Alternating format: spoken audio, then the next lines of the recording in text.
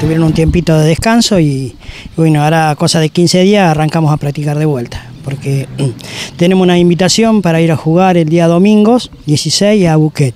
Un torneo relámpago. Un torneo relámpago, exacto. Creo que hay 6, 7 u 8 equipos, me parece. Creo que vienen equipos de, de Leones, hay creo Correa, de Las Rosas, equipo de Buquet de la zona. Que, hace mucho también se están preparando para, están haciendo esta especie de pretemporada, sí, ¿no? Sí, sí. Y yo creo, lo que tengo entendido, que un ejemplo de León y todo eso, ya hace bastante tiempo que están en, esto de fútbol femenino.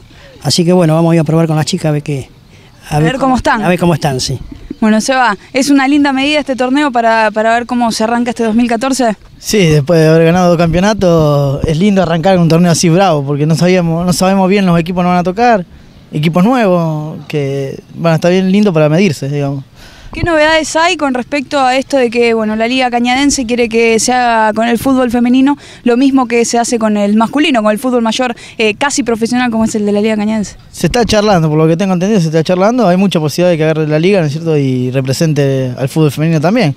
Eh, va a ser muy lindo, un desafío bastante interesante para la liga y para los equipos de Cañada también. Se está charlando con Nadeo, eh, están en tratativas para, ver si, si las chicas y ustedes se pueden trasladar hacia allá y representar al club, debido a que, bueno, si la liga retoma esto, eh, tienen que representar un club. Claro, por ser municipio no podemos representar, jugar en la liga, es claro, así que vamos a tener que representar un club, está Nadeo interesado, así que vamos a hacer el mejor esfuerzo para llegar a dirigir allá y llevar a todo el equipo, lógico.